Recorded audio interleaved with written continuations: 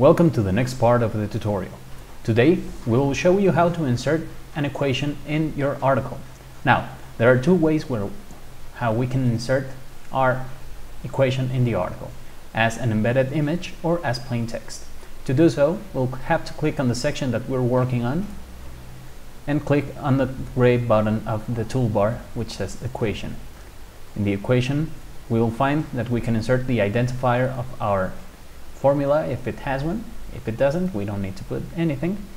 And we can now select to insert it as an image or as a plain text. To insert it as an image, we'll click on the box and select the gallery button on the toolbar. Now, we have to choose the image from our computer, click on the selected file, upload it, and then we'll have to insert it in the article. Once we have done this, the formula will be put as an image. Now, to put it as plain text, we'll click on the equation box and select the tag button. This will take us to a formula editor where we can find all the different settings and types of formula formulas that we need. You can explore all of this selection to find the one that suits the formula the most. Now, to begin with the tagging of the article, we'll have to click on the box and select the variables that we need and the operators. Once we've done this, we start to select all of the elements that are pertinent to our formula.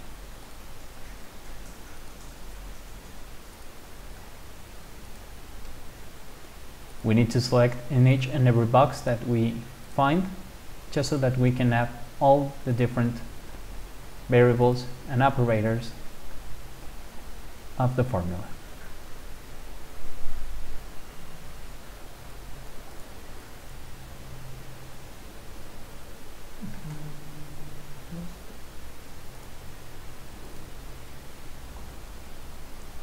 We'll then insert the equation and as you can see, we find now that the equation is as plain text. Now, if we decide to upload it as plain text, we'll have to delete the box that corresponds to the image. Or if we wish to delete, or if we wish it to be an image, we have to delete the box of the plain text. We need to choose one of the other, so there's no problem with it. Welcome to the Marcalyc tutorial. Now we'll check how to tag a table or chart in our article. When tagging a table, there's two ways of tagging said table. We can add it as a text on the content of the article or as an image. For doing so, we need to click on the section that we are working on and select on the toolbar the button table or chart.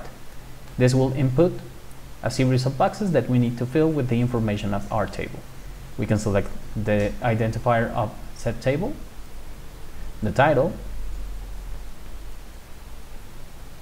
the attribution, which is from where did we got that table, and notes if it has one. This one has one.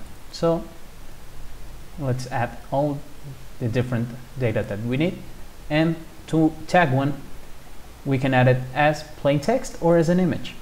To put it as a text table, we'll click on the box text table and on the right side you can see that it has a button that says import table. We'll click on it and as you can see we have now the table added as plain text. This means that we can edit and format all the text that it appears on the table. As much as we need it. We can bold it and put all the characteristics that we need in this section. Now to upload it as an image, we'll have to click on the box image, select the orientation that we want. It can be the original way or we can rotate it if the, the table is too big.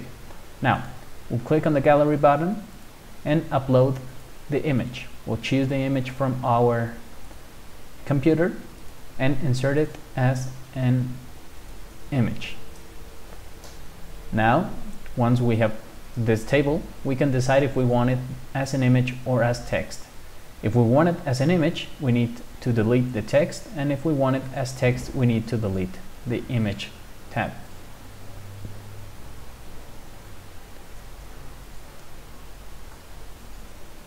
Now we'll learn to insert an image or graph in our article.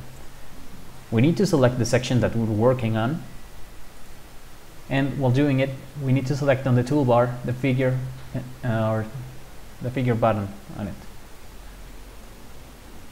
Now we'll select the identifier of our figure if it has one, the title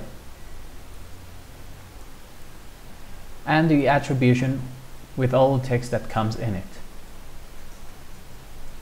We'll select on the image and click on the gallery button in the toolbar. We'll upload our image from our computer. We'll select the corresponding image, uploaded it, and insert our graph.